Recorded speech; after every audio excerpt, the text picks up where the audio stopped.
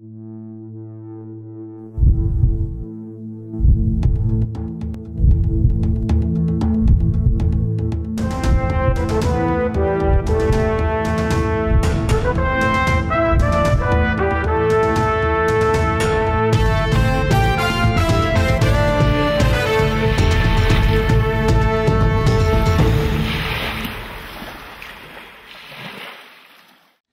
Szeretettel köszöntjük a Credo TV nézőit.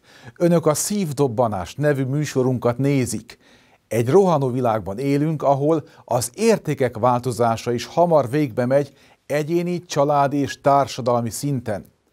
Arra a kérdésre, hogy hogy lehet ebből kilépni, az igazi válasz az, hogy csak Isten társaságában. Meg kell találnunk a közösséget Istennel, ezzel együtt megtaláljuk a nyugalmat. Ebben szeretnénk segíteni műsorunkkal a tévénézőknek. Aztán sokan úgy képzelik el Istent, mint aki megvan a maga mennyei világában, mi pedig a mi földi világunkban. Lehet-e Istennel együtt járni, foglalkozik-e velünk vagy nem? Erre a dilemmára kapunk választ Ábrahám, Izsák és Jákob pátriárkák életét tanulmányozva. Kövessük most figyelemmel Kis Juhász Vilmos lelkipásztor ige hirdetését, aki Jákob élet útjával foglalkozik, a sorozatunk következő epizódjában a Kolozsvári Magyar Baptista gyülekezet előtt hirdetve az igét. Legyen Isten áldása ezen a műsoron!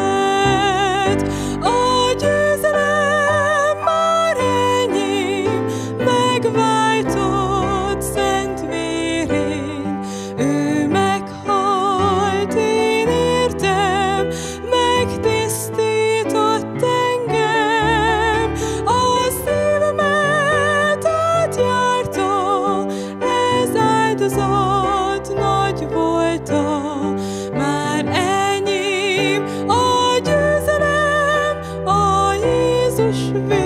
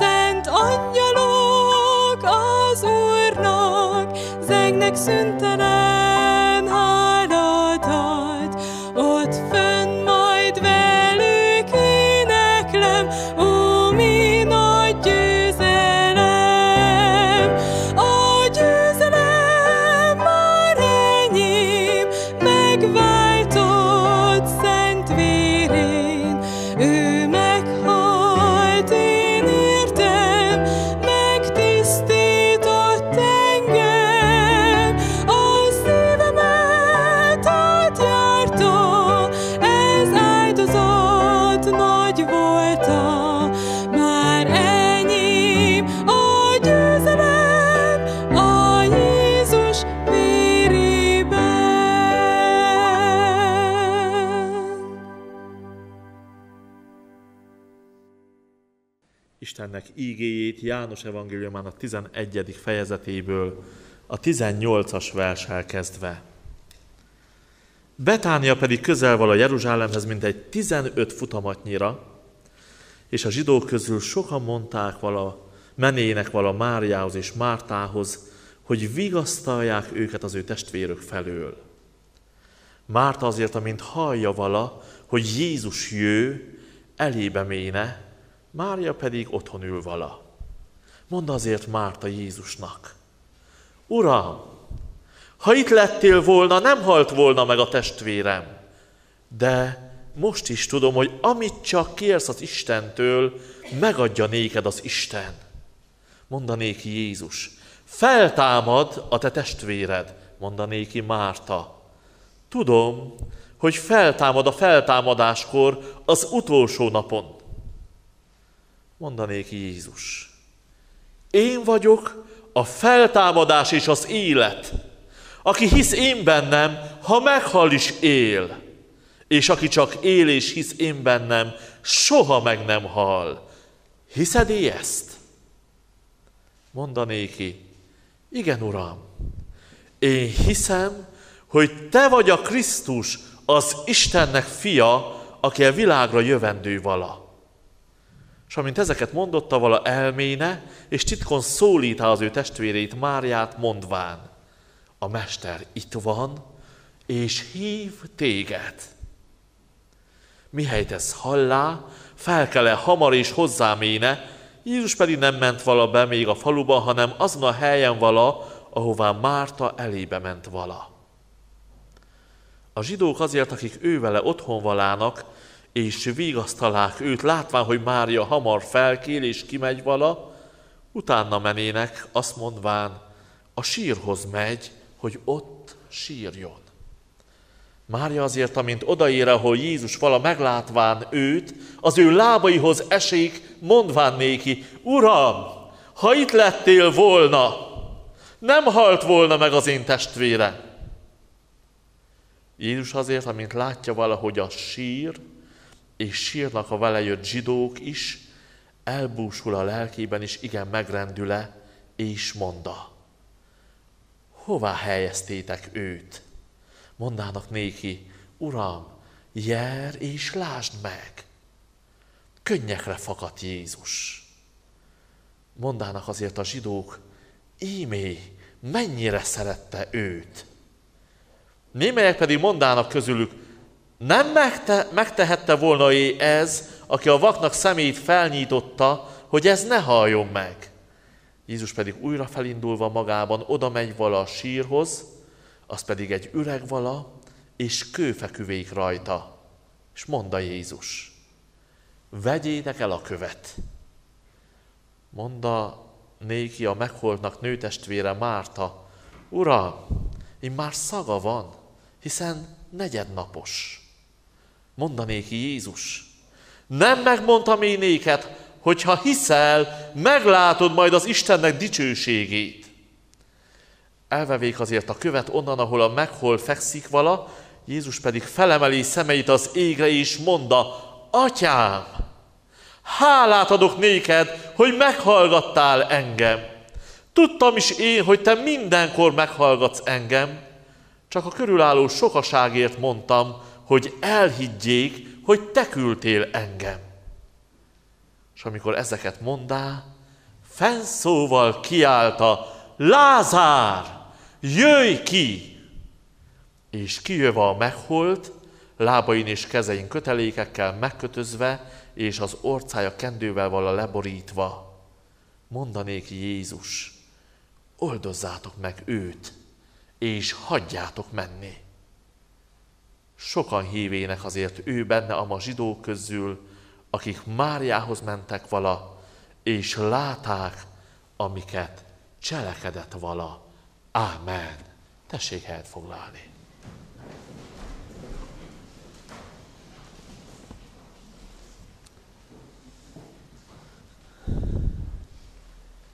Krízis helyzetről olvastunk a Bibliában. A mai történet arról szól, ami életünknek egy alapkérdése, amire nem tudjuk a választ, ami tehetetlenségünknek a végső határa, a korlátja a halál. Tehetetlenül áll a tudomány, tehetetlenül áll a szeretet, tehetetlenül áll a család, és tehetetlenül állunk sokszor, amikor látjuk, hogy arat a halál. Egy olyan családban, ahol három testvér volt már csak, a szülők nem éltek. Mária, Márta és Lázár. Betániában laktak, és gyakran vendégül fogadták az urat. Olyan hitvallomást mond Márta, amit kevesen mondtak el. Péterhez hasonlóan kijelentésszerűen mondja el a lélek által, te vagy a Krisztus. Így olvassuk, az Istennek fia, aki a világra jövendő vala, mondja 27. vers. És hirdeti ezt hatalmas szóval, kijelentéssel, amikor ott vannak a zsidók közül sokan, és ólálkodva az ördög munkájától, fondorlataitól megtelve keresi Krisztusnak a vesztét. És Márta hirdeti, te vagy a Krisztus, az élő Istennek fia, az eljövendő, a messiás, az Úrnak küldötte, akit vártunk, akit már hirdetett, az édenkertől való kiűzéstől az Úr, a mi Istenünk, hogy az asszony magva majd a kígyó fejére fog taposni. Te vagy! Te vagy az Úr, az élő Istennek fia. És eme hit nem elég Márta számára, mert Krisztusnak mondani valója és tenni valója van az életében. Nem hitvallomás szintjén akarja Krisztus, hogy ismerjük. Nem az apostoli hitvallást megtanulva tudjuk elmondani, a hiszek egy Istenben, mindenható atyában, és folytathatnánk tovább. Nagyon jó, ha el tudjuk mondani. Sok téves tanítástól megőriz, ha tudjuk, és tiszta, világos előttünk a tanítás, a Krisztusról, az Úrról, a mi Istenünkről szóló tanítás, de nem elég. Istennek gyermeke lenni, Isten családjában lenni nem tudomány, nem ismeret, nem egy hitvallomásnak a hangoztatása. Teljes meggyőződés, bizonyosság, átélés, hogy Krisztus az élő Isten fia az én életemben. És a ma este felolvasott ige arról szól, ahogy Mária és Márta az ő életükben. Hogyan tapasztalták meg, hogy Jézus Krisztus az Úr, hogy ő a mindenható Isten, ő az, akinek a kezében van a halálnak és a pokolnak kulcsa. Tudni kell még erről a családról azt is, hogy a zsidóknak is kedvenceik voltak. Közel laktak Jeruzsálemhez, többen kimentek Betániába hozzájuk, és sajnálták. Vigasztalták, körülvették őket, kedves, szeretnivaló emberek voltak, akik szolgáltak, akik Istent félték, és az embereket becsülték három testvér, aki szülő nélkül volt, és most épp a férfi, a fiú, Lázár halt meg. Arról is beszámol az ígénk, hogy látta Mária is Márta, hogy nehéz a helyzet. És az első versekben arról olvasunk, hogy üzent Jézus Krisztusnak, hogy akit te szeretsz, Lázár, és akit mi is szeretünk, az beteg ura. Jöjj! Jöjj hozzánk! Az a hely, ahol Jézus többször megpihent, annak a helynek a tulajdonosai hívják most Jézust. Egy olyan fajta hit volt az életükben, hogy ha ott van Krisztus testben, akkor megváltoznak a dolgok. Egy antropomorf, egy nagyon emberi meglátás, de nincs mit. Nagyon elítéljük őket, mert mi magunk is azt mondjuk, ha ott lettünk volna, tudtunk volna segíteni. Így távolról, messziről mit tudunk tenni? Abba a test, hús, vérben megjelent, Krisztusban hittek. Ha ő itt van, akkor vele megtörténik bármi. És biztosan mondja Márta, ha itt lettél volna, nem halt volna meg a testvérem. Mondja Mária, miután találkozott az Úrral, ő is, 32. versben, csak nem szóról szóra, ha itt voltál volna, nem halt volna meg a testvérem. És hadd szóljak arról, az Isten lélek. A mi Istenünk nincs térhez és időhez kötve. A mi Istenünk nem csak akkor tud segíteni, amikor ott áll mellettem, és ha megbotlok, ha megszédülök, ha megtántorodom, akkor megragad. A mi Istenünknek, a mi Urunknak nincsenek korlátai. A mi Urunk lélek és szellem és mindenütt jelen van, és mindenható Isten. Neki nem kérdés az, hogy milyen távolságról segít. Neki nem kérdés az, hogy ott áll mellettem, vagy ott áll melletted. Ő nincs térhez kötve. Az idő pereg, és telnek a napok, az üzenettől öt-hat nap telhetett el, egy szűk hét. Hosszú idő. Főleg, ha arra gondolunk, hogy egy hat nap alatt Isten megteremtette a világot. Mindennel együtt. Hát akkor, hogy ne lenne hosszú most a gyászban, a nyomorúságban, és azt olvassuk, hogy valahogy addig tartott a hite, Mártának és Márjának részben, addig még lángolt valamilyen szinten, amíg látták, hogy Lázár él. Amíg látták, hogy Lázár szuszog. Amíg abban a testben a szív működött, pompálta a vért, az agy kellő oxigén kapott, lélegzett, és úgy gondolták, ha most, ha most érkezik, még most is meg tudja gyógyítani. És mintha elvágták volna a fonalat. Amikor Lázár egyre csendesebben lélegzett, és egyszer megszűnt lélegzeni. És amikor kimerett a pupilla, és többet nem sóhajtott. Kedves testvéreim,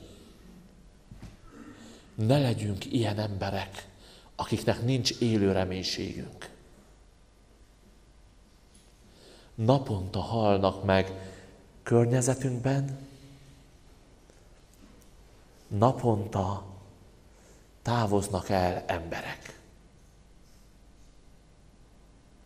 És a hívő ember nem addig látja Isten hatalmát, ami még a másik éli szuszog. Nem addig látja Isten kezét hatalmasnak.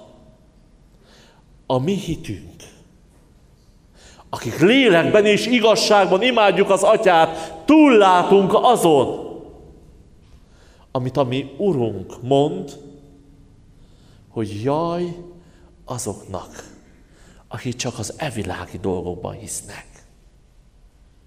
És ez a hatalmas lecke következett, amikor emberileg teljesen reménytelen volt a helyzet. Tudjuk jó, hogy percek alatt az agy bomlásnak indul, károsodik.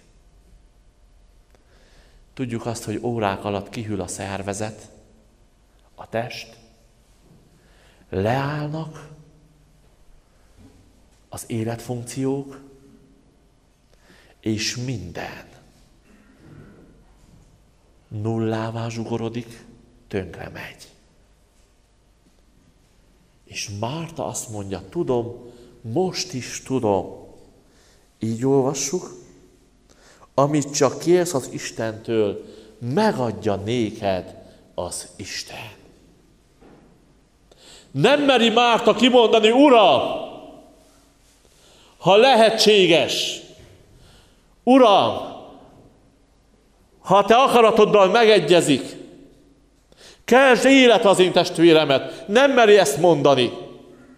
De gondol vigasztalásra, de gondol kegyelemre, de gondol megbékélésre, amit csak kérsz.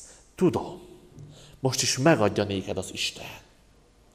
A körülötte lévők is valami hasonló gondolkozhattak, mert feltették a kérdést, ez, aki a vaknak a szemét megnyitotta, hát nem tehette volna meg. De most késő. És szólok ma arról a bizonyosságról, hogy Istennek sohasem késő. Nekem is, neked lehet, hogy késő. De Isten számára sohasem késő. Ő az élet és a halál ura, a mindenható Isten, akinek a kezében van minden lehetőség, és soha nem késik el, soha nem lesz tehetetlen, lehetetlen helyzetbe hozva. Soha. És figyeljétek meg, testvéreim, másodszorban azt a hitet, amit Krisztus akar felmutatni. Mártának röviden így fogalmazza meg két igeversben. Márta, én vagyok a feltámadás és az élet, és aki hisz én bennem, ha meghal is, él. És aki csak él és hisz én bennem, soha meg nem hal. Márta, az élet a bennem való hitben van. A földi vonatkozás megszűnhet. De azt, amit kimondtam, az, hogy Lázár én bennem él, az senki és semmi nem változhatja meg. Aki bennem hisz, mondja Jézus Krisztus, aki rát engem, mint életet, annak örök élete van. És a biológia, a fizikai életről átvisz. Jézus Krisztus egy mindenható, örökkévaló gondolkozásra bennünket. Mit jelent az, hogy Krisztusban élünk? Mit jelent az, amikor a hitünk átformálja az örökké valóságot, és átformálja azt a 70 vagy ha fejebb 80 esztendőt átformálja az életet számomra és számunkra.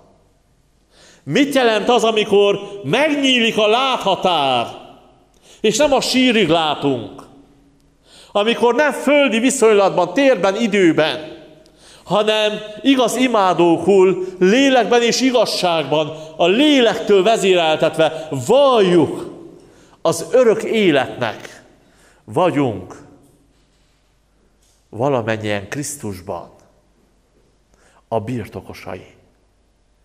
Mit jelent az, amikor megtörténik bennem és benned az a szakadás, hogy nem a föld számára élek, hanem az Isten számára, amely számára.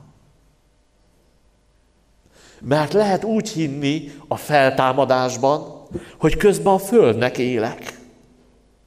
A földiekért futok. Ez az első az életemben. Ez határozza meg gondolkozásomat, küzdelmeimet, sikereimet, nehézségeimet, örömeimet. Ehhez szabom maga. De Krisztus azt várja tőlem és tőled, hogy hitáltal a menny számára éljünk. Istennek legyünk az eszközei, a kinyújtott kezei, az ő edényei legyünk ezen a földön. Azt várja mi Urunk, hogy nyilvánvaló legyen az életemben és az életedben, hogy Jézus Krisztus az Úr bennem és benned. És nem a világ menete, és nem a világ gondolkozása, és nem a világ értékrendje, és nem a világ bölcsessége, és nem a világ filozófiája, és nem a világ módszere, és nem a világ pénze, hanem az Isten akarata a lélek vezetése, az Isten szava, az Istennek kegyelme az, amely átjár, amely mozgat. Uram, te imádó szívet teremtettél, és én másá tettem. Földieké élő szívet és most értem meg, hogy imádó szívé teszem azt, amely csak rólad szóljon. Csak veled és benned. Éle meg a kapcsolataimat, veled és benned. Éle meg a munkámat, veled és benned. Osztom az időmet és szorzom, veled és benned. Sáfárkodom a javaimmal, veled és benned. Nevelem a családomat, veled és benned. Örülök az örülőkkel, és sírok a sírókkal. Nem tudom, ha értjük ezt az elmélyülést, amire hív bennünket Krisztus, hívta Mártát és Máriát. Benne lenni, ő benne hinni, és ő általa keresztül érezni, felfogni, meggondolni, konvertálni minden egyéb földi dolgot.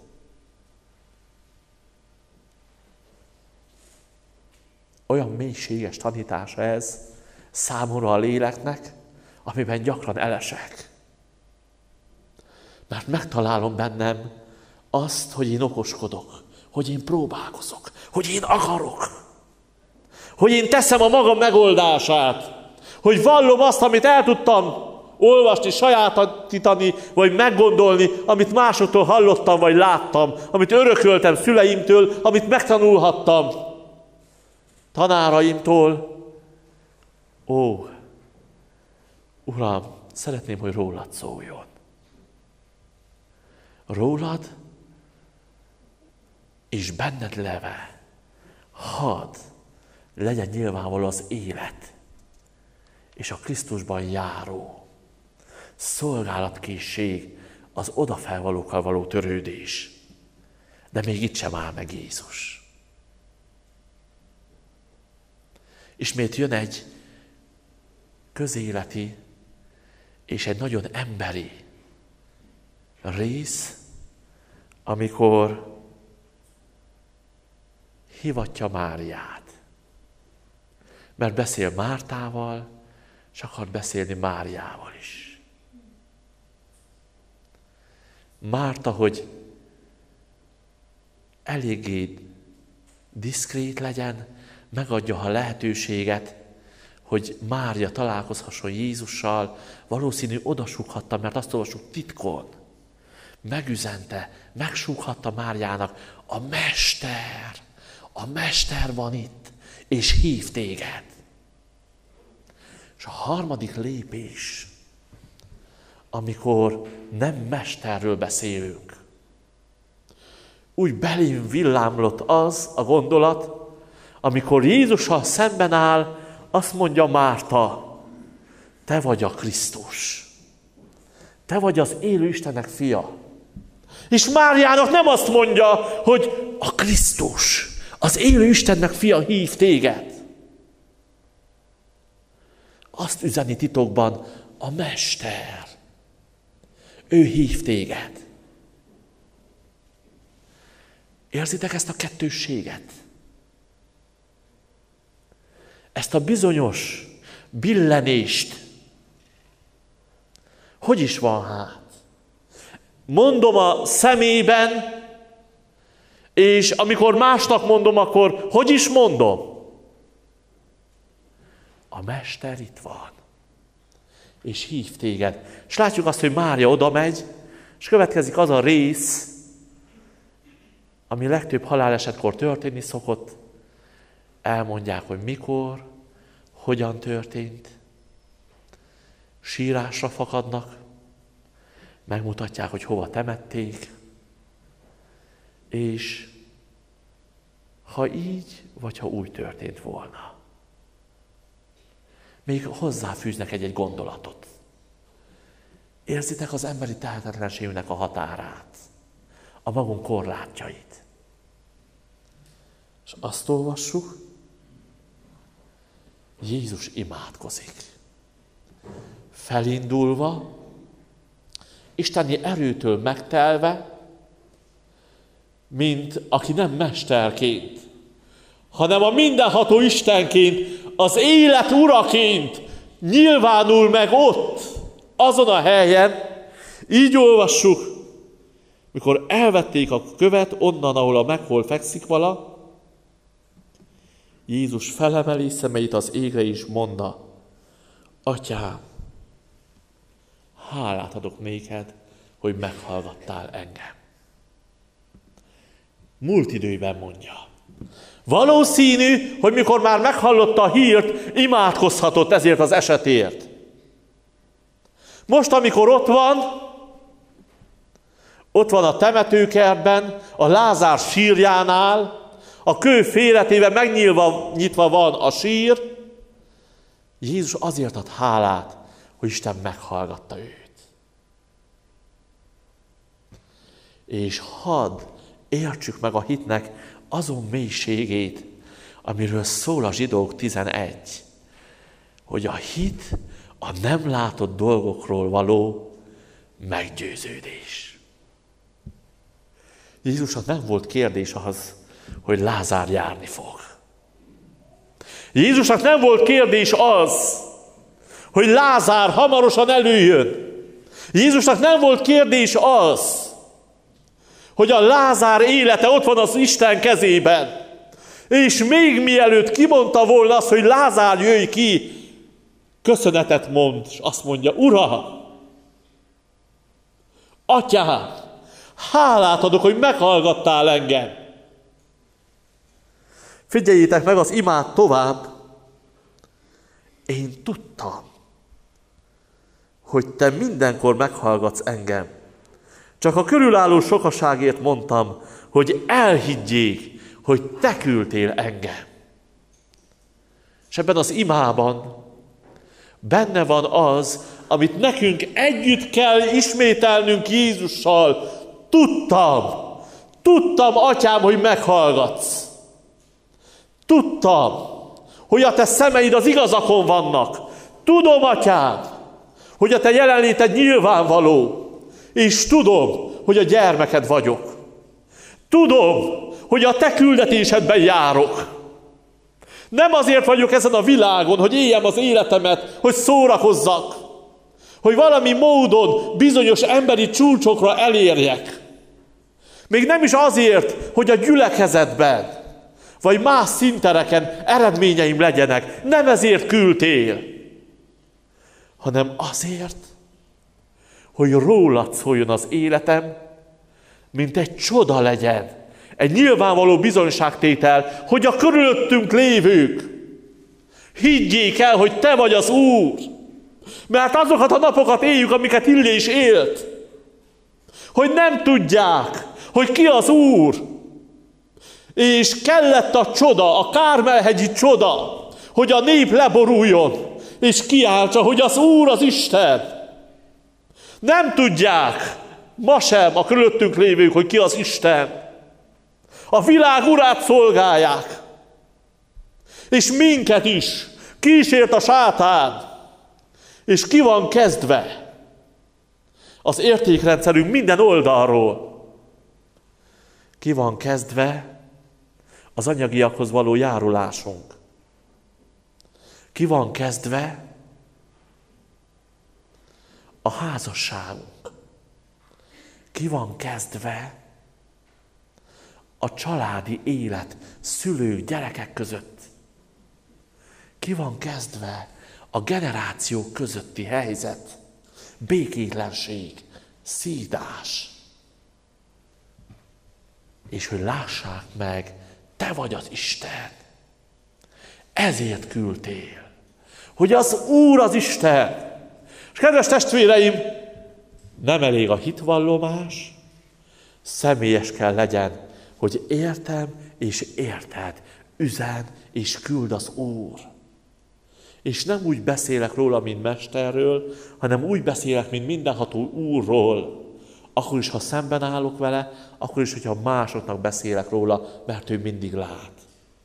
És hiszem, hogy az ég, a menny az én Uram számára szolgálok. De hiszem azt is, hogy az én szolgálatom és a ti szolgálatotok változást hoz. Eszköz lesz az Isten kezében. Hiszem azt, hogy Isten használ bennünket.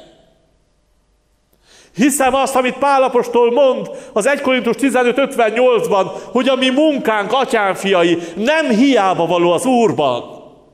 Hiszem azt, hogy megváltozik a környezetem. Hogy nem hiába való az imádkozásunk. Hogy nem hiába való a bőtölésünk. Nem hiába való az Úrnak való odaszánásunk. Ó, a világ nem fog megváltozni. Mert a világ megy előre. És a szeretet sokabban meghidegül. És a világ ura tombol. De átéljük a környezetünkben azt, hogy Isten cselekszik. Senki ne gondolja azt, hogy mikor Krisztus vissza fog jönni erre a földre, a sok evangelizáció, akár médián, akár személyes, akár gyülekezeti prédikáción keresztül úgy fogja várni a világ, hogy letérdel előtte, mint Úr előtt. Nem. Nyilvánvaló, hogy nem ez lesz, hanem éppen az ellenkezője. A konokság, a keménység, az ördögnek való engedelmesség. De a körülöttünk valók, akiket nékünk áld az Úr. Úgy, ahogy elmondta Pálapostolnak, hogy ne félj Pál, mert csak a hajó vész el, de senki, aki körülötted van, nem fog elveszni. És úgy gondolja a családodra, édesapádra, édesanyádra, nagyszüleidre, testvéredre, gyermekeidre, unokáidra, mint akik előtt állunk az Úr előtt, és könyörgünk, és hisszük. A Filippi börtönőrnek mondott mondás, hogy te és a te házad népe. Üdvözülsz! És higgyed, kedves testvérni, hogy megszentelődik a te férjed élete te benned.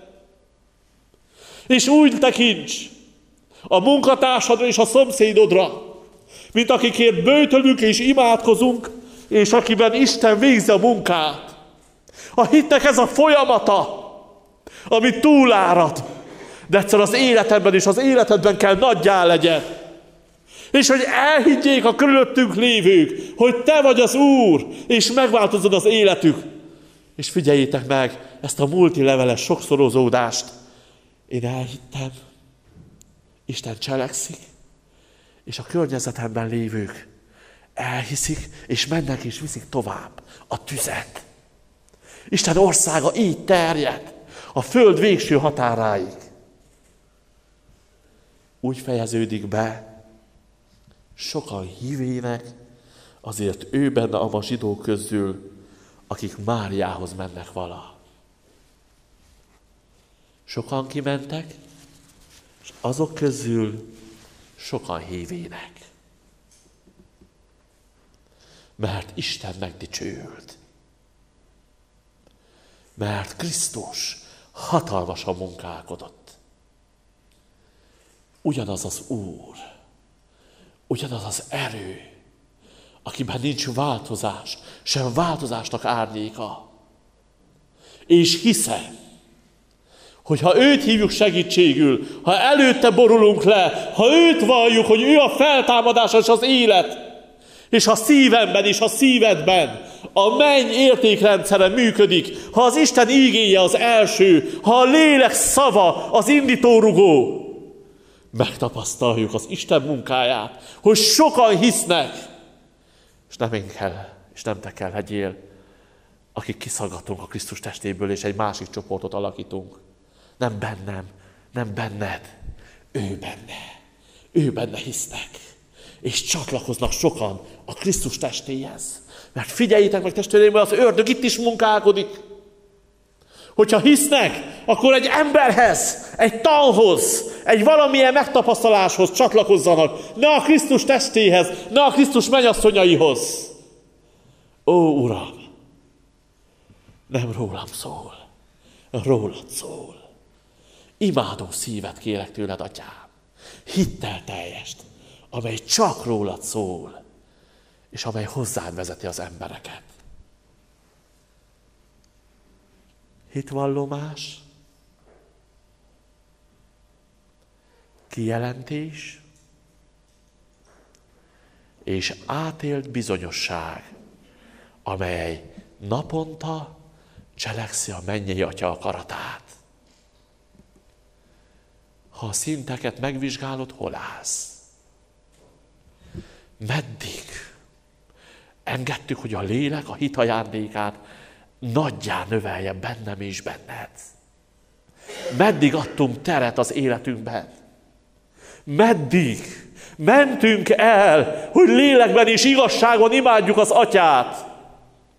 És meddig jutottunk el, hogy eszközök lehessünk Isten kezében, hogy ne testben, ne emberi módon, ne magunk korlátaiban megkötözve szolgáljuk az Úrnak, hanem a lélek szabadságában, az Isten akaratában, a Krisztus erejében. Erre hívott el minket a mi Urunk, Krisztusnak népe. Megváltott mennyasszonyai a mi Urunknak. Engedjétek, hogy félretéve minden világi hatást, önzést, testiességet, hitáltal megerősödve a lélek által Krisztus nagyjá legyen bennünk és környezetünkben. Amen.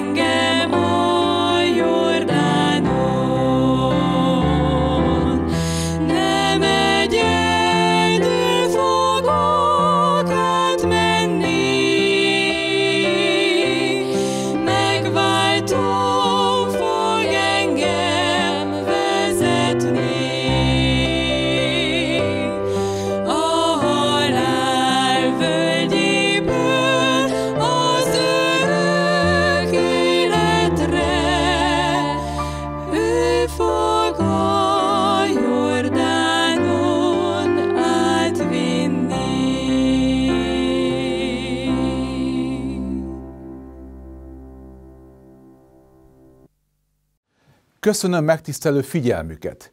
Kívánjuk, hogy Isten ígéje legyen olyan, mint a nyári zápor, amely ősszel meghozza a gyümölcsöt. Szeretettel meghívom nézőinket, hogy találkozzunk a jövő héten, ugyanebben az időben és ugyanitt a Credo TV csatornáján.